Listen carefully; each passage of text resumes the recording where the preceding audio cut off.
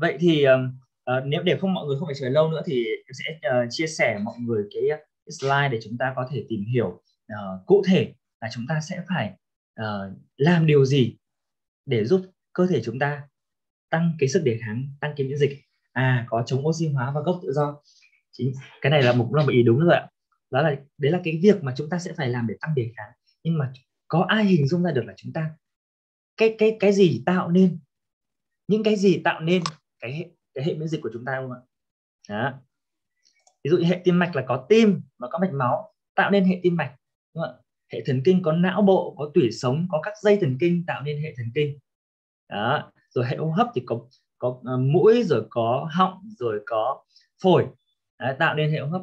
Vậy thì cơ quan bộ phận nào và điều gì cái gì tạo nên hệ miễn dịch? Thì chúng ta có biết không ạ? Đó thì bây giờ em sẽ chia, chia sẻ với mọi người slide ngày hôm nay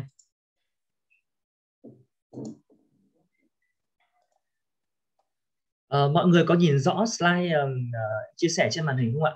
Nếu mà chúng ta nhìn thấy rõ thì chúng ta comment số 1 ạ.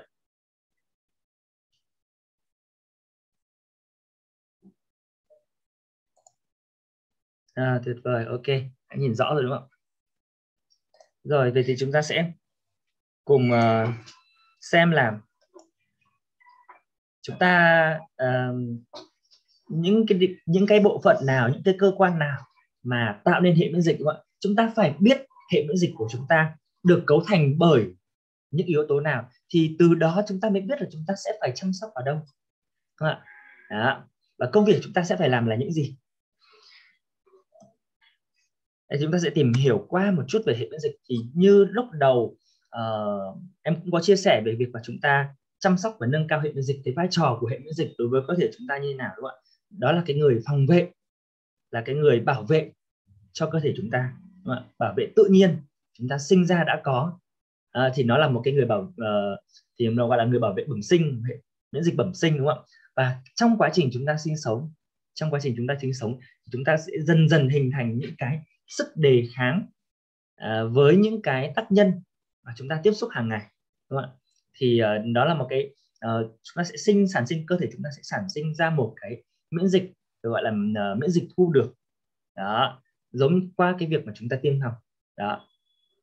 Thì hệ miễn dịch của chúng ta được cấu thành bởi rất là nhiều uh, những cái tế bào những cái um, mô mà chủ yếu tập trung chủ yếu ở hạch bạch huyết. Đấy, khi khoảng mà chúng ta uh, bị uh, đau họng đúng không ạ? Đau răng hoặc là chúng ta sốt chúng ta có thể sờ thấy hạch ở những cái vị trí khá là là, là dễ tìm thấy. Ví dụ như vị trí ở dưới quai hàm đúng không ạ? À, dưới quai hàm chúng ta có thể dễ dàng mà chúng ta sờ thấy nhất. Đấy là những cái hạch ngoại vi có những cái hạch mà nó nằm sâu bên trong cơ thể chúng ta nằm ở gần với các cơ quan bộ phận bên trong cơ thể thì chúng ta không sờ được. Nhưng chúng ta có thể hình dung được đó nó cũng sẽ tương tự giống như cái hạch mà chúng ta sờ phía dưới dưới hàm chúng ta. Thì uh, những cái tế bào nó nằm tập trung ở hạch bạch huyết này rồi lá lách này đúng không À, lá lách rồi tủy xương. Trong tủy xương cũng có rồi tuyến ức. Tuyến ức thì có là nó là một cái tuyến nằm ở phía sau cái xương ức của chúng ta. Đấy, thì gọi là tuyến ức. Rồi những cái mô bạch huyết nằm giải rác ở hệ tiêu hóa rồi uh, hệ hô hấp. Đó. rất là nhiều. Đó là những cái phần phần chính thôi đó là những cái phần chính tạo nên cho chúng ta một hệ miễn dịch nhưng tham gia vào đó thì còn rất nhiều những cái thành phần những cái cơ quan bộ phận khác cũng sẽ uh, tạo cho chúng ta một cái hệ miễn dịch. Đúng không ạ? Cho nên là chúng ta sẽ không đơn thuần là chỉ chỉ chăm chăm vào cái việc là chúng ta sẽ chăm sóc hạch bạch huyết uh, rồi lách hay tủy xương mà chúng ta sẽ phải chăm sóc và bảo vệ cả những cái thành phần khác cấu thành và và và tạo nên cho chúng ta một cái sức khỏe miễn dịch. Đúng không ạ? Đây là một cái ví dụ ờ, một cái hình ảnh ờ, khá là vui nhộn và chúng ta có thể uh, hình dung về cái hệ miễn dịch của chúng ta có những cái tế bào như thế nào.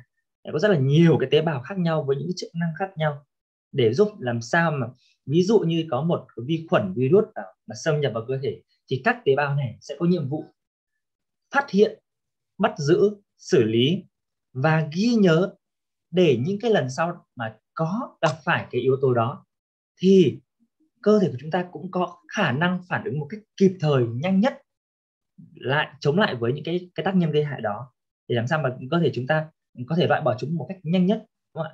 còn nếu mà để cho nó có thời gian ở trong cơ thể thì là nó có sẽ có khả năng sinh sôi nảy nở và phát triển và phát triển thì nó sẽ làm tổn hại đến sức khỏe của chúng ta đúng không ạ đó, thì vừa nãy mình có nói là sinh ra bẩm sinh đã có hệ miễn dịch rồi nhưng cái sức phòng thủ sức phòng thủ sẽ còn rất là yếu đúng không? Cho nên là uh, trẻ sinh ra chúng ta phải nâng niu chúng ta phải bảo vệ nhiều đấy là như vậy đúng không ạ? Là bởi vì cái hệ miễn dịch cái hàng phòng vệ của của trẻ còn quá non nớt còn quá yếu.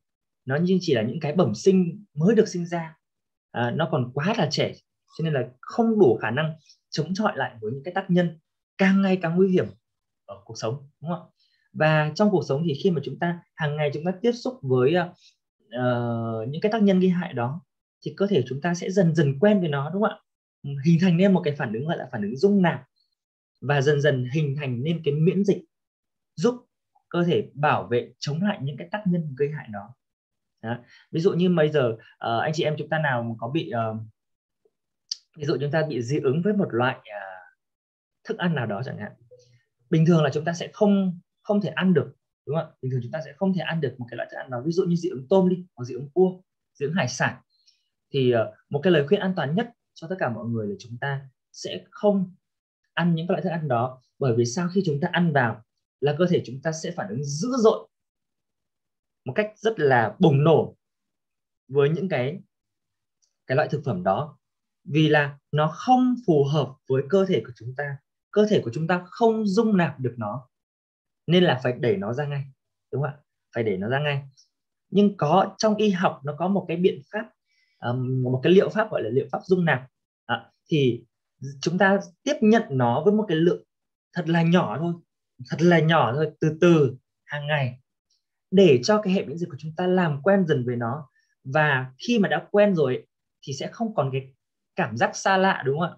Chúng ta làm quen nhau chúng ta không còn cảm giác xa lạ nữa thì chúng ta không đẩy nhau đi còn nếu mà còn thấy xa lạ còn cảm thấy nó nguy hiểm với cơ thể thì sẽ phải đẩy đi xa đúng không ạ? Đấy là cái cái cơ chế cái phản ứng của của cơ thể khi mà gặp những cái tác nhân um, lạ và gây hại cho cơ thể. Đó thì đấy là cái miễn dịch mà chúng ta sẽ thu được trong quá trình của chúng ta sinh sống và phát triển. Đó.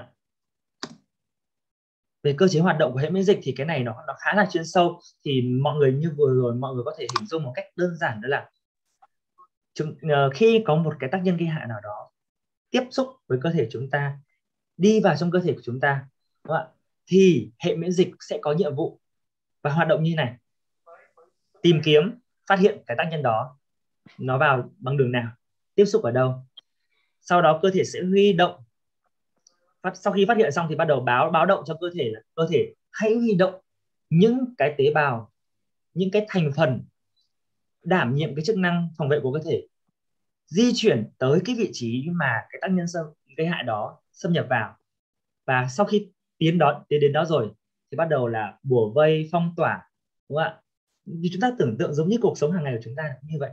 Bùa vây phong tỏa bắt đầu là bế xử lý thì sẽ có rất nhiều cách để xử lý cái tác nhân đó. Đấy, tiêu diệt hoặc là kìm hãm hoặc là uh, cho vào trong và đẩy ra ngoài. Đấy, cho vào trong cái cái một cái một cái túi và đẩy nó ra ngoài cơ thể của chúng ta. Rồi uh, sẽ giữ lại những cái đặc điểm nhận dạng của cái tác nhân gây hại đó. Và để lần sau giống như là một cái bảng truy nã ấy, nếu có gặp phải tên tội phạm này là phải phát động ngay loại trừ ngay đúng không ạ? Đấy là cái cơ chế hoạt động uh, của hệ miễn dịch của chúng ta. Một cách gọi là chúng ta có thể hiểu cách đơn giản như vậy còn nếu mà để giải thích uh, sâu hơn thì nó sẽ khá là khó cho cho tất cả ờ, mọi người ở đây đúng không ạ? Và chúng ta sẽ không không cần phải quá tìm hiểu sâu bởi vì chúng ta uh, không phải là những cái người làm uh, chuyên về ngành y. Chúng ta là những người bình thường nhưng chúng ta biết để chúng ta có thể có cái kiến thức để chúng ta bảo vệ được cơ thể chúng ta đúng không ạ? Còn khi mà đã đã đã gặp cái vấn đề bệnh rồi là chúng ta sẽ phải đến gặp đến chuyên gia đúng không ạ? Rồi chúng ta sẽ đến được và bây giờ chúng ta sẽ đến với uh, những cái mẹo những cái mẹo để giúp uh, tăng cường hệ miễn dịch. Thì uh, uh, với những cái mẹo này thì thường là cái mẹo này thì sẽ xuất phát từ cái việc là chúng ta cần chăm sóc những cái cơ quan bộ phận nào. Nhưng như vừa rồi như như trước đó thì em cũng có chia sẻ là uh, ngoài những cái tế bào những cái mô nằm ở hạch bạch huyết hay nằm ở lách hay là tủy xương rồi uh, nằm giải rác ở trong các cái hạch mô bạch huyết ở hệ tiêu hóa và hệ hô hấp đúng không ạ? Thì còn rất là nhiều những cái thành phần những cái cơ quan hệ cơ quan bộ phận khác góp phần vào cùng với hệ miễn dịch tạo nên một cái sức khỏe miễn dịch đúng không ạ? Thế thì ờ, ở, cái phần mà mẹo giúp chúng ta tăng cường hệ miễn dịch này đó là cũng chính sự xuất phát từ cái việc là chúng ta những cái công việc mà chúng ta sẽ phải làm à, những cái công việc mà chúng ta sẽ phải làm để để làm sao mà có thể bảo vệ được cơ thể và tăng cái sức đề kháng tăng cái khả năng miễn dịch của cơ thể chúng ta. Rồi. À, đầu tiên đầu tiên chắc chắn là phải là dinh dưỡng ăn rồi. Tại vì cơ thể chúng ta muốn sống muốn tồn tại chúng ta phải nạp dinh dưỡng. Nhưng chúng ta nạp dinh dưỡng như thế nào? Đúng không ạ? À, không phải là chúng ta sẽ cứ à, ăn lấy ăn để ăn thật nhiều ăn cho no là chúng ta đã uh, có cái sức khỏe của miễn dịch rồi đúng không ạ? Nhưng đó là một cái điều không hề đúng. Bởi vì sao? Khi mà chúng ta ăn bất cứ cái gì mà chúng ta muốn và chỉ để đáp, đáp ứng là cái việc chúng ta no thôi đó là chúng ta làm đầy cái dạ dày của mình thôi. Nhưng thực sự cơ thể của chúng ta đã no thật sự hay chưa? No là khi mà cơ thể chúng ta nó đang thiếu những cái thành tố nào đó thì chúng ta phải cấp cho nó những cái yếu tố đấy và làm cho nó không cảm thấy khan hiếm không cảm thấy khát cái yếu tố đó nữa thì lúc đấy là cơ thể chúng ta mới thực sự no. Vậy cơ thể chúng ta thực sự cần gì? Ngoài ba cái dinh dưỡng uh, mà chúng ta chất dinh dưỡng mà chúng ta hay nói chất dinh dưỡng đa lượng ví dụ là từ tinh bột này rồi chất béo này à, rồi protein này là ba chất dinh dưỡng đại lượng đa lượng mà chúng ta cần bổ sung thì còn những cái chất dinh dưỡng nào khác? À, rất quan trọng. Là những chất dinh dưỡng vi lượng đúng không ạ? Chúng ta thường là chúng ta bị quên và bỏ qua cái yếu tố này. Đó. À, mọi người thường là sẽ uh, ít ăn rau củ quả à, thì chúng ta sẽ ừ, bị thiếu đi rất là nhiều thiếu đi rất là nhiều những cái chất dinh dưỡng vi lượng. Đó thì chúng ta muốn một cơ thể chúng ta được no một cách thực sự thì chúng ta phải có một cái chế độ ăn thực sự cân bằng. Chúng ta không ăn quá nhiều một chất nào đó đúng không ạ? À, thậm chí là việc mà các chất dinh dưỡng vi lượng như vitamin hay khoáng chất nó rất tốt cho cơ thể của chúng ta nhưng chúng ta cũng không nên nạp quá nhiều với cái sức chịu đựng của cơ thể đúng không ạ? Chúng ta sẽ phải tự lắng nghe và tự cảm nhận cơ thể chúng ta cần đến đâu đúng không ạ? Cái này không có không có một cái cái máy móc nào có thể đong đếm được cụ thể được cho chúng ta mà chỉ có những cái khuyến cáo nói chung. Nhưng mà chúng ta sẽ phải tự cảm nhận rằng cơ thể chúng ta đang còn thiếu điều gì thì chúng ta sẽ bổ sung. Và rau củ quả là một những cái nguồn dinh dưỡng rất là tốt uh, cho cơ thể của chúng ta. Uh, cung cấp cho cơ thể chúng ta rất là nhiều. Đầu tiên rau củ quả phải kể đến nó là chất xơ đúng không ạ? Chất xơ sẽ giúp cho cơ thể chúng ta được những điều gì? Khi mà vào trong hệ tiêu hóa của cơ thể, thì chất xơ sẽ trở thành nguồn thức ăn cho hệ vi sinh trong đường ruột của chúng ta. Hệ vi sinh sẽ sử dụng chất xơ trong thực vật tiêu hóa xong nó sẽ sinh sôi, nó sẽ phát triển. Thì hệ vi sinh đó sẽ tạo cho chúng ta rất nhiều yếu tố có lợi, từ cái việc mà sản sinh ra các một số vitamin mà chỉ có ở hệ đường ruột do hệ vi sinh phát phát triển. Nó có thể tạo thành đó là vitamin K, đúng không ạ? Một vitamin rất quan trọng. Đó. thì uh, hệ vi sinh phát triển cũng sẽ giúp chúng ta uh, tăng cường cái hệ miễn dịch. Tại vì khi mà chúng ta một trong những cái con đường mà mà chúng ta hay bị bị, bị tác động nhiều nhất đó là cái việc ăn qua đường tiêu hóa đúng không ạ? Chúng ta ăn phải thực phẩm bẩn. Chúng ta ăn phải thực phẩm bẩn thì cơ thể phản ứng ngay. Chúng ta bị ngộ độc thực phẩm. Chúng ta đau bụng. Chúng ta đi ngoài. Thì khi mà chúng ta ăn thực phẩm bẩn như thế nó làm cho cái hệ vi sinh của chúng ta bị rối loạn đúng không? mất cân bằng. Và lúc này những cái thành phần có hại nó trở nên trội hơn với những thành phần có lợi và khiến cho cơ thể chúng ta tạo ra một cái phản ứng là đau bụng và đi ngoài để tống khứ đẩy hết những cái yếu tố gây hại đó ra. Nhưng mà nó cũng đồng thời đẩy các yếu tố có lợi đúng không ạ? Nhưng mà khi chúng ta uh, cung cấp cho uh, cái hệ vi sinh có lợi đó là uh, chất xơ thì cái hệ vi sinh có lợi này cái cái cái vi những cái vi khuẩn có lợi này nó sẽ phát triển mạnh hơn nhiều hơn. Vì vậy khi mà chúng ta uh, nếu có không may chúng ta có ăn phải cái một cái thực phẩm nào đó nó không được tươi nó không được sạch thì cái phản ứng của chúng ta cũng sẽ nhẹ nhàng hơn bởi đã được các vi khuẩn có lợi nó xử lý cái điều đó rồi đúng không ạ? Đó cho nên là chúng ta hãy thường xuyên uh, ăn thật là nhiều những cái loại rau củ quả đặc biệt là những loại rau củ quả có màu sẫm từ đỏ này rồi vàng cam hay là xanh lá. Màu trắng nhé màu trắng cũng rất là tốt. Đó cũng là một cái màu mà cung cấp rất là nhiều những cái chất tuyệt vời cho cơ thể. Đó. Rồi ngoài chất xơ này thì ờ, còn có nước này. À, chúng ta vẫn có nước ép từ trái cây từ rau củ đúng không ạ? Đấy, 70% cơ thể chúng ta là nước. Mà nước từ uh, các loại uh, rau củ quả thì không chỉ chứa nước không mà còn đem theo cho cơ thể chúng ta thật là nhiều vitamin này. Kèm theo là một số những cái khoáng chất. Khoáng chất thì sẽ không nằm chủ nằm nhiều ở, ở các loại thực vật mà sẽ nằm chủ yếu ở ở các loại uh, thực phẩm có nguồn gốc từ động vật. Nhưng mà vitamin là nằm nhiều ở các loại thực phẩm có nguồn gốc từ thực vật. Rồi uh, các chất chống oxy hóa. Thế thì vừa nãy có một uh, chị uh, có comment là uh, chống oxy hóa đúng không? rồi uh, chống cây gốc tự do đấy thì chúng ta ăn nhiều rau củ quả sẽ cung cấp cho chúng ta một cái lượng chất chống oxy hóa rất là dồi dào và từ đó sẽ giúp bảo vệ cơ thể chúng ta. Đó.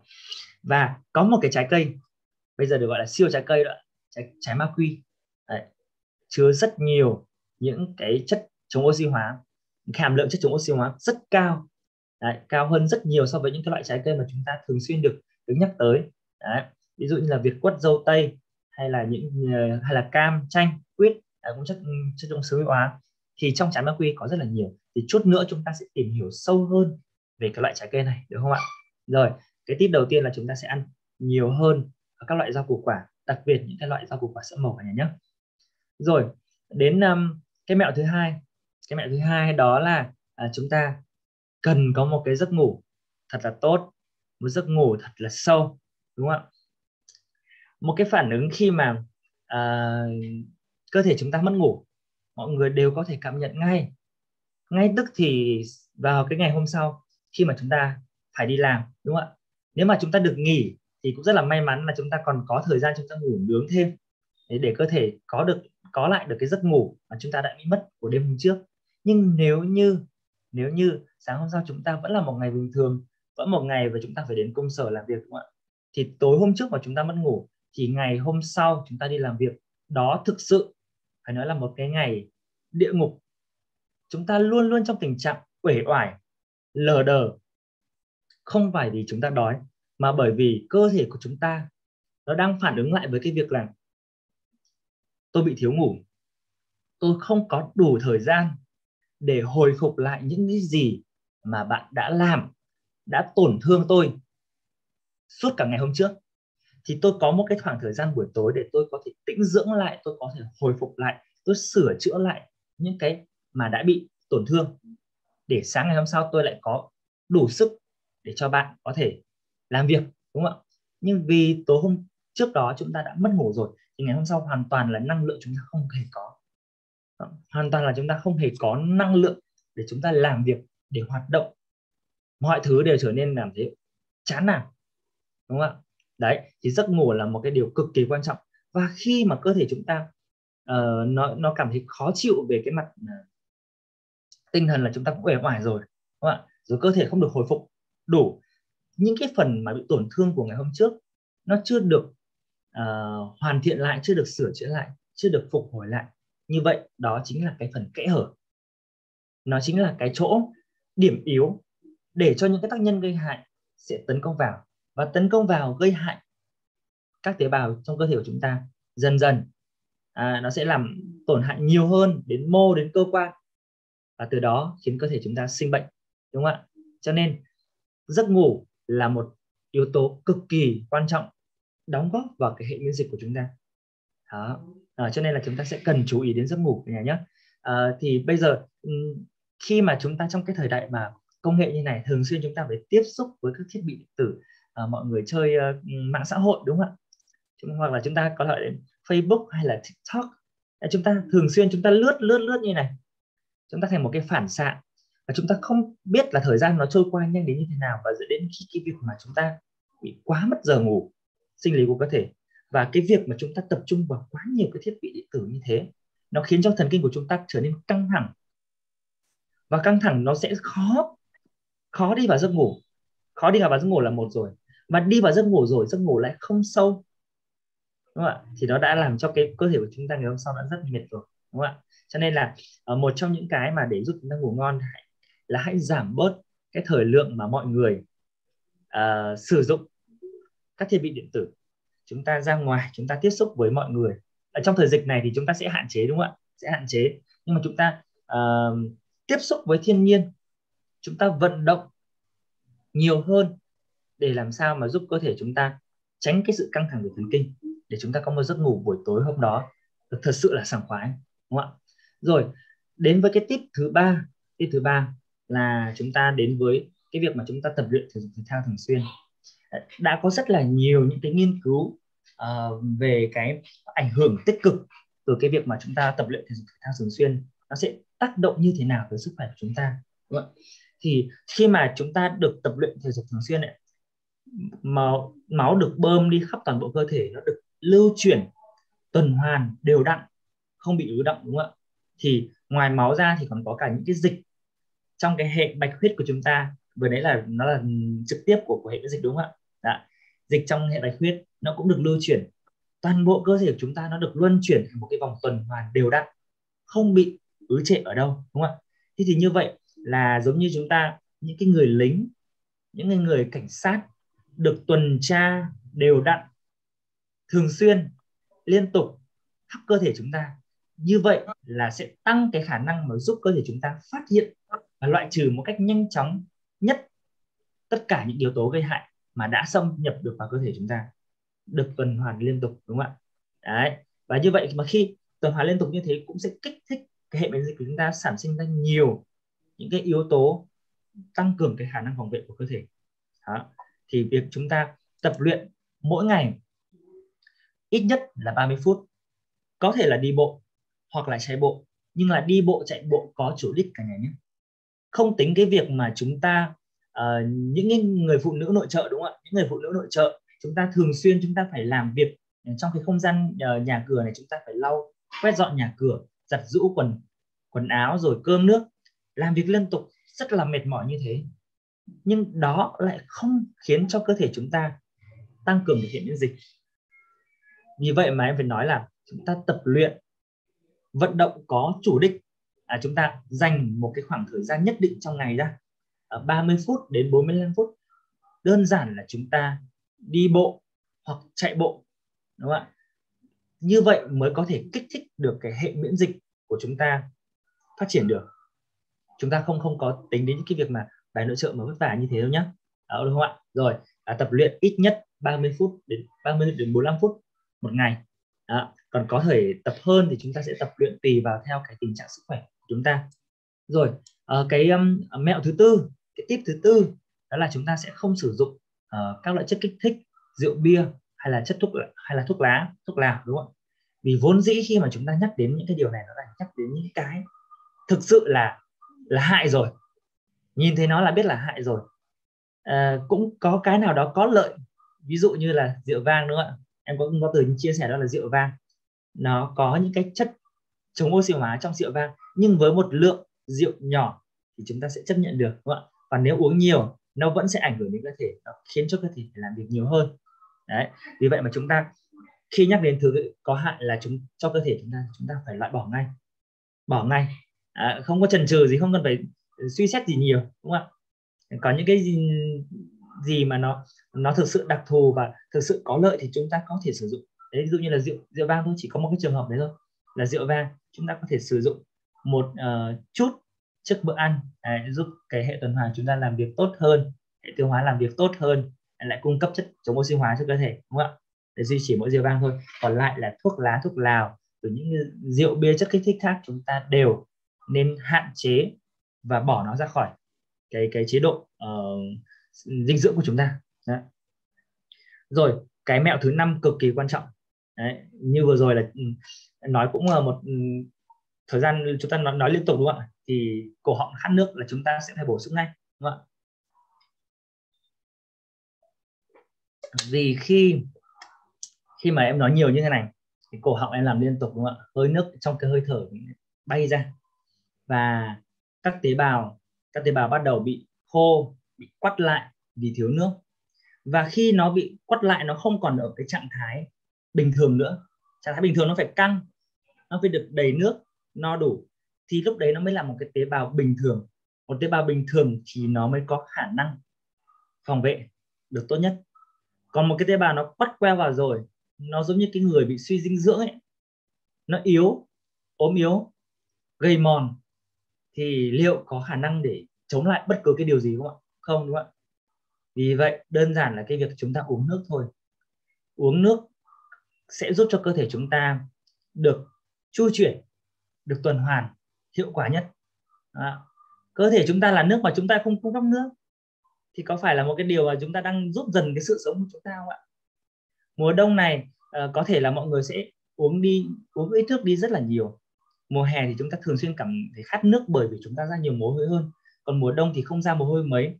Nhưng mà mồ hôi vẫn uh, nhưng mà cái cái nước chúng ta vẫn mất đi qua cái việc là chúng ta đi đi vệ sinh đúng không ạ? Rồi qua việc chúng ta hít thở rồi nước để giúp cho uh, cái niêm mạc của chúng ta luôn luôn được ẩm. Tại vì thời tiết hanh khô như này thì nó sẽ làm cho cái tất cả cái niêm mạc trong cơ thể của chúng ta nó bị khô bị bay hơi nhanh hơn. Như vậy cơ thể cũng sẽ là phải sử dụng nước để làm ẩm lại chỗ đấy. Đó, để làm ẩm chỗ đấy để khôi phục lại cái cái cái chỗ mà nó bị khô như thế. Thế như vậy là nước từ đâu ra? Thì chúng ta phải bỏ bổ sung vào đúng không ạ? Đó đơn giản là chúng ta sẽ uống nước đúng không ạ? Đơn giản uống nước thôi đã làm cho hệ miễn dịch chúng ta khỏe hơn rất nhiều rồi. Rồi chúng ta đến với cái mẹo thứ sáu. Cái mẹo thứ sáu là chúng ta sẽ thường xuyên à, đều đặn vệ sinh thân thể hàng ngày. Vệ sinh thân thể là để loại bỏ tất cả những cái thứ bẩn những cái thứ thừa những cái thứ mà vô tình nó bám vào trên người chúng ta. Nó có thể chưa vào cơ thể chúng ta đâu. Nhưng ví dụ thông qua một cái cái vết xước một cái lỗ hổng ở trên cái hàng rào bảo vệ đầu tiên của cơ thể chúng ta đó là da một cái vết xước trên da chúng ta thôi. Đấy, thì những cái yếu tố vô tình nó bám vào từ trong không khí nó bám vào. Và khi mà chúng ta không vệ sinh nó được thường xuyên liên tục đúng không ạ?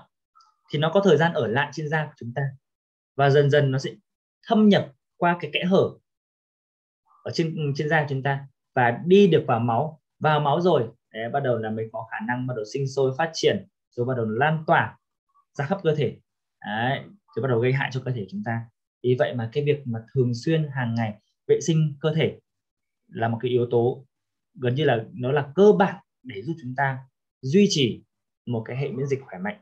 Đó rồi à, đến với à, cái mẹo ở số 7 à, chúng ta nhìn thấy một cái hình người có có khá khá là nhiều cái chữ ở xung quanh này cái người trong à, rất là thư thái đúng không ạ? Rồi có những cái từ nó liên quan đến là bình tĩnh này tập trung này vui vẻ này không lo lắng căng thẳng này. Rồi à, cảm thấy tâm trí được à, được lấp đầy đấy, tâm trí được thoải mái. Đấy đó là một cái cái mẹo mà giúp chúng ta tăng cường hệ miễn dịch đó là chúng ta sẽ tránh tránh cái việc chúng ta bị căng thẳng đúng không ạ? Căng thẳng stress đang là một sát thủ ngầm dần dần giết chết cơ thể của chúng ta. Đó. nhiều người làm có thể tự tin vào cái sức chịu đựng của mình. À, bây giờ có thể đơn cử là là là người phụ nữ Việt Nam đi. Người phụ nữ Việt Nam luôn luôn được tôn vinh là những người phụ nữ chịu thương chịu khó. Chúng ta đã chịu hai cái rồi chịu thương chịu khó. Chịu khổ phải chịu rất nhiều thứ, rất là nhiều cái áp lực đè nén lên cơ thể của chúng ta, đè nén lên cơ thể phụ, người phụ nữ ấy. đấy, thì khi mà bị đè nén như thế thì cơ thể sẽ rất cảm thấy mệt mỏi và căng thẳng, đúng không ạ? Nó hình thành nên stress, rồi dẫn đến cho phụ nữ trở nên trông lại già hơn. Đấy, rồi cái việc mà chịu áp lực liên tục trong một thời gian dài như thế, thành như gọi là cái cái cái gọi là cái quan niệm chúng ta, đúng không ạ? Là người phụ nữ phải như vậy, người phụ nữ Việt Nam phải như vậy. Nhưng ở thời đại này thì chúng ta không còn không còn phải như vậy nữa. Chúng ta được quyền, chúng ta nói lên cái cái ý kiến của mình chúng ta phải được giải tỏa giải tỏa được khỏi những cái áp lực đó. Vì chúng ta cũng là con người không ạ? Không có lý do gì chúng ta lại cứ phải chịu đựng mọi thứ như vậy. Chúng ta phải giải phóng nó đi giải phóng khỏi những cái áp lực đó đi, thì cơ thể của chúng ta mới được thoải mái được còn cứ bị đè nén đè nén xuống như thế thì chúng ta chỉ tập trung vào cái việc chúng ta chống đỡ lại nó thôi. Còn đến bây giờ chúng ta sẽ có bất cứ một cái tác động nào đó tác động vào là chúng ta hoàn toàn hoàn toàn không có khả năng để chống lại nó. Đang thì chúng ta đang phải nâng một cái cái cái bao tải bao tải gạo chẳng hạn. 50 cân đi.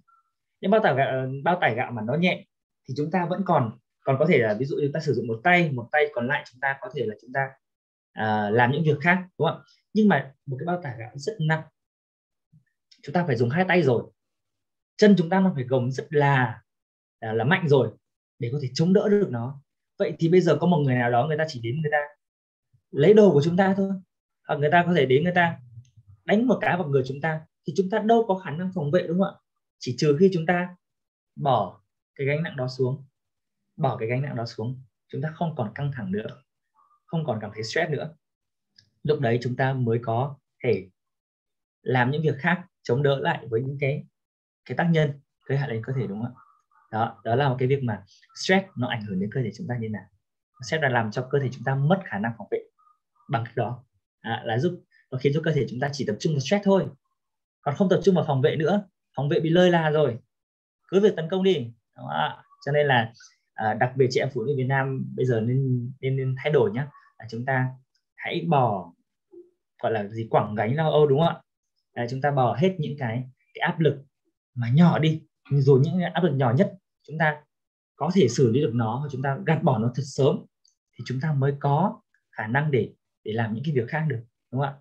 Rồi à, hết bảy hết bảy cái cái cái mẹo mà giúp chúng ta à, tăng cường hệ miễn dịch đúng không ạ? Thì đến cái mẹo thứ số 8 này à, mẹo số 8 là chúng ta sẽ sử dụng sử dụng những cái chất bổ sung từ bên ngoài. Đúng không? sử dụng chất bổ sung bên ngoài. Vậy thì chúng ta bổ sung những điều gì? Ngoài việc chúng ta cũng bổ sung uh, từ vitamin từ khoáng chất rồi bổ sung uh, chất đạm rồi bổ sung đường bổ sung chất béo. Uh, có những thực phẩm bổ sung giúp chúng ta bổ sung như thế. Thì ngoài ra chúng ta còn nên bổ sung một cái chất mà dạo gần đây chúng ta sẽ thường xuyên rất hay nghe đó là chất chống oxy hóa đúng không? tại sao chúng ta lại phải bổ sung chất chống oxy hóa? À, à bây giờ chúng ta sẽ cùng nhau xem uh, đổi một cái slide khác nhà nhé này thì uh, tại sao chúng ta lại phải phải phải chống chống oxy hóa? Đấy, chống lại các gốc tự do. Thế này thì uh, hàng ngày hàng ngày cơ thể của chúng ta uh, vận động uh, sống như này thôi. Đấy, hàng ngày chúng ta sống một cách đơn giản bình thường kể chưa tính đến cái việc mà chúng ta có những cái tác nhân gây hại từ bên ngoài. Đấy, một cái cuộc sống bình thường. Thì vốn dĩ trong cơ thể của chúng ta đã sản sinh ra những cái gốc tự do rồi. Đó là một cái cái tất yếu của cơ thể. Nó giống như cái việc chúng ta hàng ngày chúng ta sinh hoạt chúng ta có xả rác ra đúng không? Đấy. Và nếu như cái rác đấy càng ngày càng nhiều mà chúng ta cứ để ở trong nhà thì bắt đầu nó bị thối ra nó bốc mùi nó khiến cho cái nhà chúng ta trở nên đầy cái mùi đấy và chúng ta cảm thấy khó chịu đúng không ạ khó chịu với cái mùi đấy là cơ thể chúng ta đã đã không, không thích rồi đấy. thế thì cái gốc tự do cũng giống như vậy nó là cái sản phẩm chuyển hóa mà còn sót lại của cơ thể chúng ta qua quá trình chúng ta sống thế thì như vậy khi mà nó để lâu hoặc là nó tích tụ nhiều nó sẽ tác động ngược trở lại cơ thể chúng ta và gây hại cho cơ thể chúng ta. Vì vậy mà chúng ta cần có những cái chất làm nhiệm vụ loại bỏ cái ờ, cái chất oxy hóa đó những cái gốc tự do đó. Đúng không? thì chúng ta có gọi là chất chống oxy hóa. Đó là vậy. Thế nên vì, ừ, vì đó là lý do vì sao mà uh, dạo gần đây ừ, mọi người sẽ được nghe rất là nhiều những cái cụm từ chống oxy hóa. Đấy. và uh, em sẽ chia sẻ một chút về về về. Đây thì chúng ta sẽ thấy là một cái thách thức hiện nay đó là tỷ lệ mà người mắc các cái bệnh lý mạng tính đang ngày một tăng cao và tăng một cách chóng mặt. Bệnh lý mạng tính thì thường là cái thời xưa thì chúng ta sẽ thấy là hay thấy là khi mà các cụ rồi gọi lên là có tuổi rồi thì chúng ta mới thường xuyên mới mới gặp những cái cái bệnh mãn tính đó nhưng hiện nay thì các bệnh mãn tính đấy nó dần bị trẻ hóa. Đã bắt đầu là những cái người ở tuổi ít hơn cũng đã bắt đầu mắc nhiều hơn rồi. Và nó không còn là bệnh của người già đúng không ạ? Bởi vì sao? Bởi vì cái lượng um, tác nhân gây hại nó càng ngày càng nhiều. Rồi những thay đổi trong cuộc sống những cái thói quen xấu à, nó càng ngày càng nhiều à, và càng chiếm lĩnh cái cuộc sống của chúng ta. Để vì vậy mà những cái bệnh lý mạng tính này lại tăng cao ở những cái người trẻ. Đó. Ví dụ như là cái bệnh tiểu đường này ví dụ như bệnh lý liên quan đến tim mạch à, sơ vữa động mạch hay là tăng huyết áp rồi bệnh lý ung thư rồi những cái bệnh lý vấn đề về đường hô hấp. Đấy, thì đặc biệt là trong trong đợt dịch này là nó là một cái bệnh lý nó sẽ gây ra những cái bệnh lý về đường hô hấp. Nhưng mà nó không phải bệnh về mạng tính. Đấy. ví dụ như hen suyễn chẳng hạn đúng không hen suyễn. Đấy, thì chúng ta cũng là một cái bệnh về về mạng tính của đường hô hấp rồi uh, về suy giảm trí nhớ.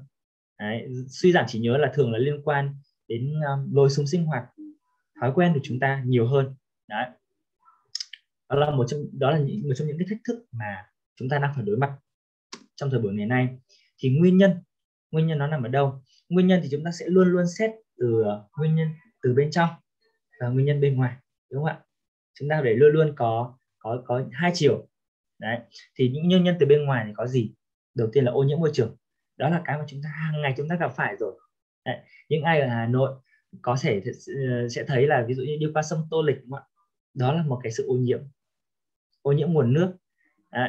mặc dù là chúng ta không sử dụng nước đó cho cái việc sinh hoạt, nhưng cái nước ô nhiễm đó nó bốc lên một cái mùi mà những người đi ở ven sông thôi, những cái gia đình ở ven sông thôi, họ cũng cảm thấy rất là khó chịu rồi nó cũng đã ảnh hưởng đến sức khỏe của người ta rồi ảnh hưởng đến khứu giác của người ta đúng không ảnh hưởng đến đường hô hấp của người ta.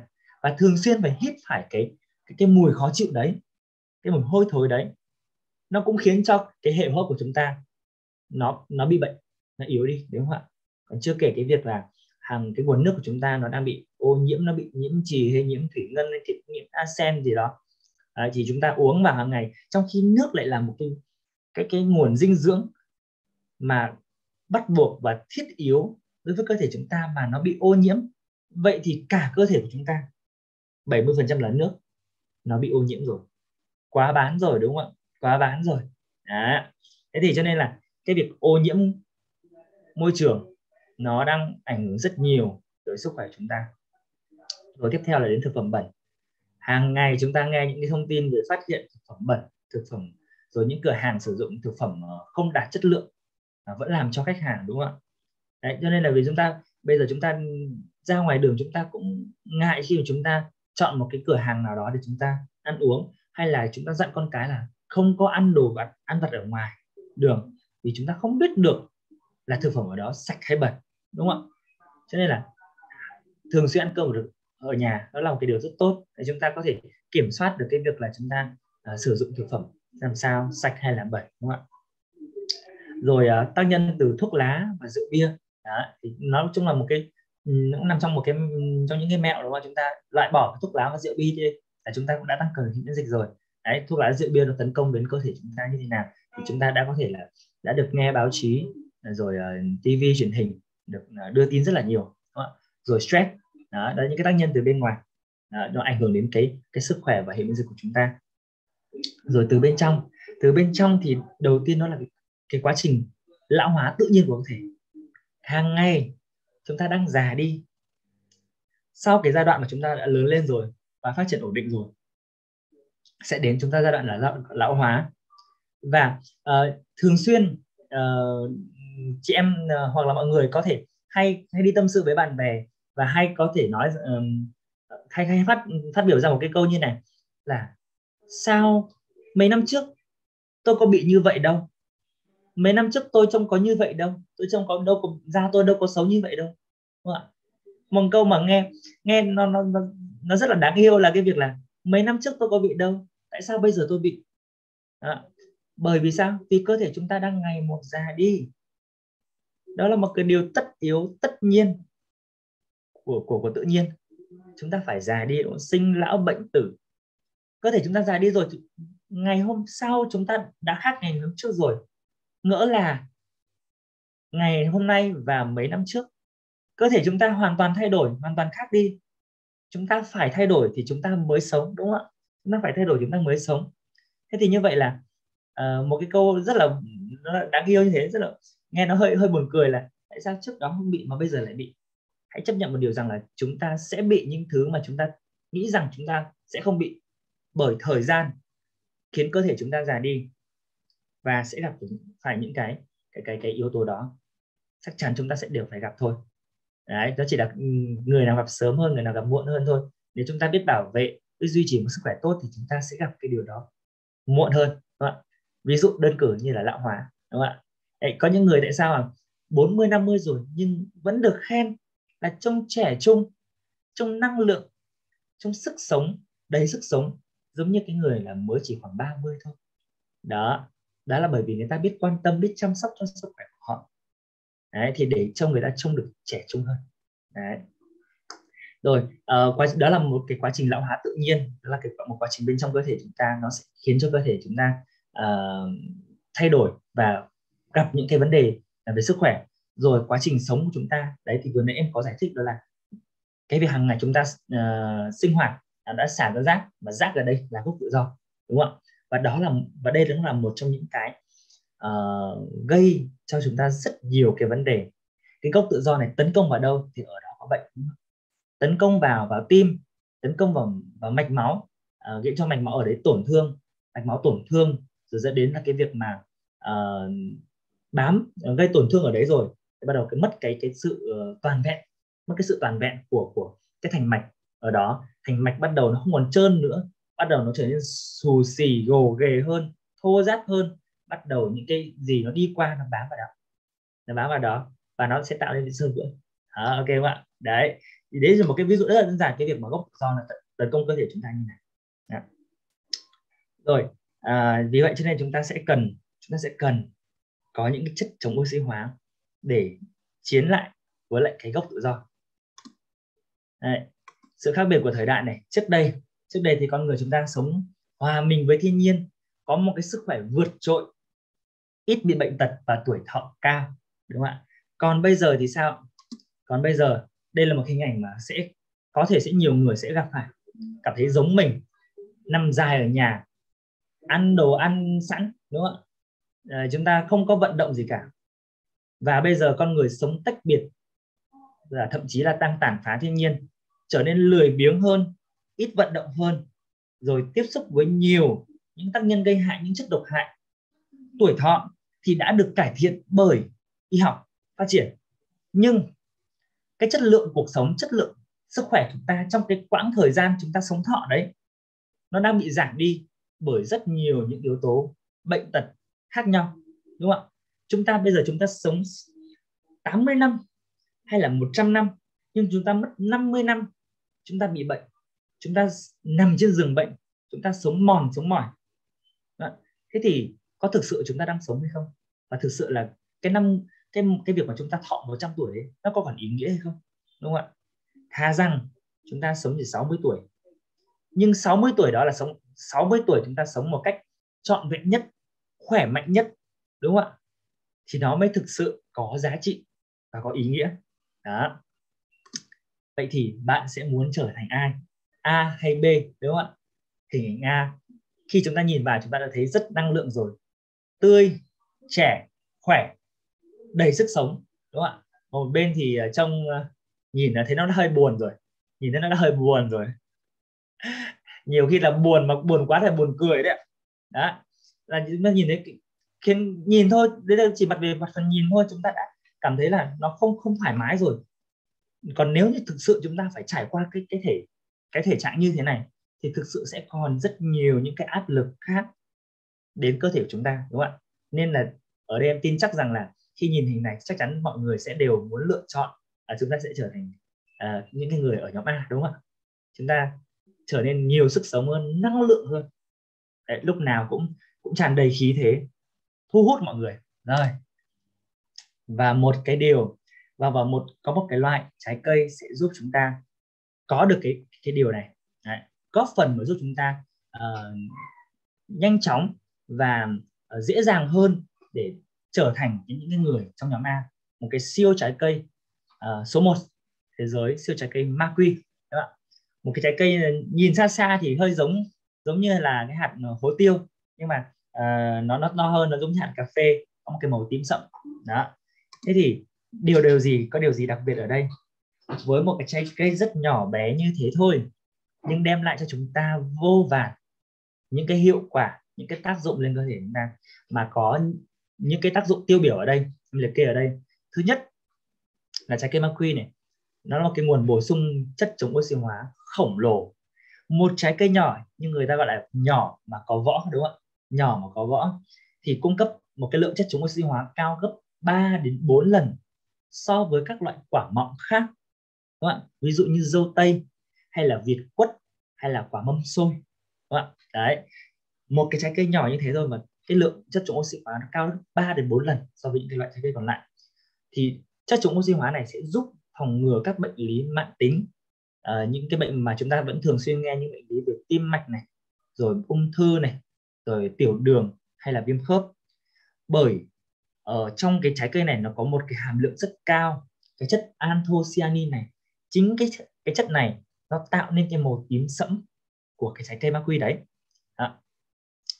và uh, một cái chất mà có uh, đây là một cái chất mà có rất là nhiều tác dụng như là chống lão hóa này đấy, bảo vệ thành mạch rồi tăng cường miễn dịch. Ok có tăng cường miễn dịch rồi đúng không ạ? Chống dị ứng. Chống dị ứng cũng chính là khiến cho cái hệ miễn dịch của chúng ta khỏe hơn rồi chống lại các tác động từ tia UV à, tia UV tức là tia cực tím đó rồi tăng cường cái thị lực của chúng ta vào ban đêm. Đấy, những người nào mà hay bị quáng gà ấy, chúng ta có thể lưu ý chúng ta sẽ bổ sung cái cái chất này đúng không ạ? Thì trái cây maqui nó đã giúp chúng ta làm được điều này. Rồi chúng ta đến với lợi, lợi ích thứ hai từ uh, từ trái cây maqui đó là cung cấp những cái chất chống viêm tự nhiên. Đấy. một cái phản ứng viêm là một cái phản ứng uh, bình thường là phản ứng có lợi cho cơ thể đúng không ạ? Ờ, khi viêm nó sẽ giúp cơ thể huy động huy động những cái tế bào có chịu trách nhiệm miễn dịch nó đến sửa chữa rồi đến um, loại trừ cái yếu tố gây hại đó.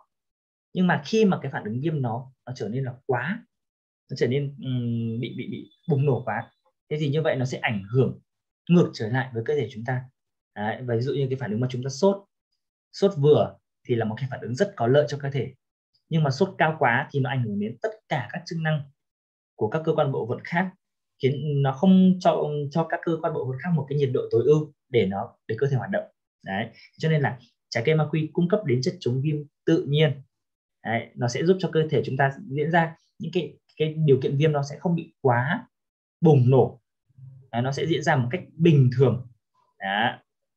thì uh, nó có tác những chất chống viêm tự nhiên này nó sẽ có tác động uh, liên quan đến bệnh tim mạch này rồi tiểu đường tiếp 2 này ở bệnh lý về viêm khớp này viêm khớp dạng thấp ạ rồi những bệnh liên quan đến hô hấp.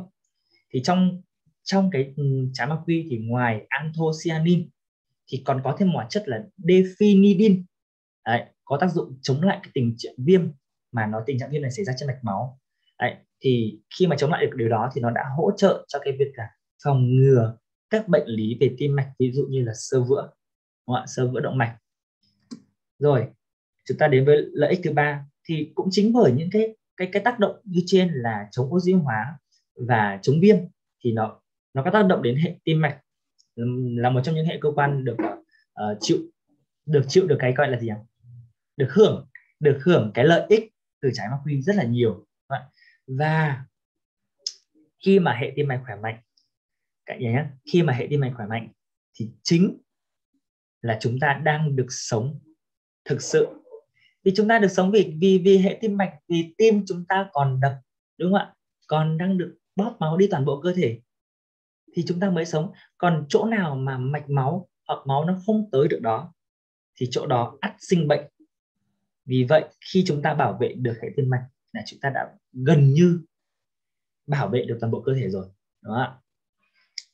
Đấy, thì có cả, có rất là nhiều những cái nghiên cứu khác nhau được nghiên cứu về cái, về về cái hiệu quả của trái ma quy này ví dụ như là nó giúp làm giảm cái nguy cơ đột quỵ rồi um, giảm nguy cơ về tăng huyết áp rồi giảm hàm lượng chất béo có hại đó là LDL rồi chúng ta đến với cái uh, lợi ích thứ tư đó là việc hỗ trợ kiểm soát đường huyết.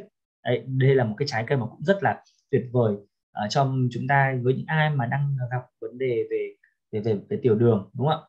Đấy về đường máu cao thì chúng ta sử dụng những cái sản phẩm uh, có chiết xuất của trái mắc quy này, nó cũng sẽ hỗ trợ cho chúng ta kiểm soát được huyết được tốt hơn và để giúp chúng ta có thể dần dần chúng ta cai được thuốc đường tiểu đường, đúng không ạ cái việc mà sử dụng thuốc tiểu đường thường xuyên như vậy cũng khiến chúng ta cơ thể mệt mỏi, đúng không? và chúng chúng ta sẽ phải lệ thuộc vào nó còn nếu như chúng ta thay vì là chúng ta sử dụng thuốc thì chúng ta được ăn, được uống một cái loại trái cây Đấy, nó vẫn sẽ ngon miệng hơn rất nhiều nữa nó vẫn ngon miệng hơn rất nhiều là cái việc chúng ta phải uống thuốc hay là sử dụng thuốc tiêm đúng không? rồi uh, tiếp theo là chúng ta sẽ bảo vệ sức khỏe đủ của mắt chúng ta thì chất cái chất anthocyanin đó nó tạo ra màu tím sẫm như vậy nên nó có khả năng lọc và cản trở lại được cái cái tia UV trong ánh sáng mặt trời đó. cản trở được tia UV tia UV không chỉ gây hại lên trên da mà chị em phụ nữ biết rất nhiều nó gây cho cái việc lão hóa da này rồi gây ra cái việc mà uh, chị em bị bị nám luôn ạ? Thì ngoài tác động trên da thì nó tác động lên rất nhiều nhiều nhiều cái cơ quan bộ phận khác mà tiếp xúc với lại tia UV thì vì tiếp xúc xong thì nó sẽ khiến cho uh, cơ thể chúng ta sản sinh ra nhiều gốc tự do hơn. À, và gốc tự do lại gây hại và làm sức khỏe chúng ta đi xuống đúng không ạ? Thế thì uh, cái chất anthocyanin trong trái ma quy nó giúp cái mắt chúng ta được bảo vệ một cách khỏe mạnh rồi à, tiếp theo là tăng cường sức khỏe đường ruột. Thì ngay từ trên đầu ấy em có nói ạ tăng cường sức khỏe đường ruột là giúp cho cái hệ vi sinh của chúng ta nó được phát triển và cái cái vi khuẩn có lợi nó sẽ trội hơn. Nó sẽ trội hơn và từ đó làm cho hệ miễn dịch của chúng ta khỏe hơn trực tiếp tại đường ruột. Đó.